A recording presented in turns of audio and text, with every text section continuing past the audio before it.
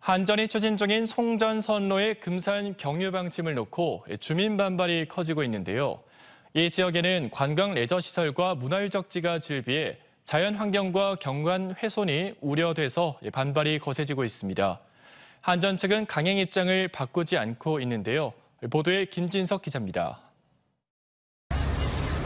금산군 진산면 주민 120여 명이 전남 나주 한전 본사에서 송전선로 경유 반대 집회를 벌이고 있습니다.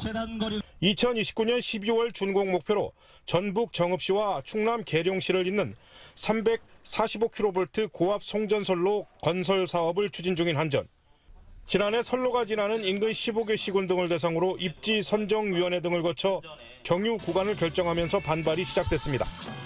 106km로 결정된 노선이 직선거리 84km보다 훨씬 긴 원거리 우회 노선인데다 예산도 223억 원이 추가돼 예산 낭비라는 겁니다. 주민 피해가 없는 상태에서 최단거리로 갔으면 좋겠다라고 생각하고 있는데 오히려 최원거리로 지금 돌아가는 문제에 대해서 주민들은 다 반발을 하고 있습니다. 주민들은 입지 선정위원 대부분이 공무원이나 지방의원들로 지역 주민은 3분의 1에 불과해 사실상 배제된 상태였다고 주장합니다. 송전선로 경유 예정 지역인 금산군 진산면 1호는 이곳 이치대첩 전승지를 비롯한 문화유적 정비 사업과 관광지 개발 사업이 한창인 곳입니다.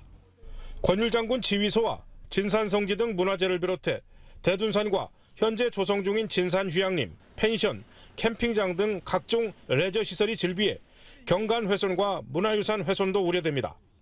이미 수십 년 전에 이런 사업 시설들이 다 들어서 있는데 굳이 그 사업 시설을 로 지나가야 된다는 게 저희 그 사업주 입장에서는 이해가 안 되는 부분이죠.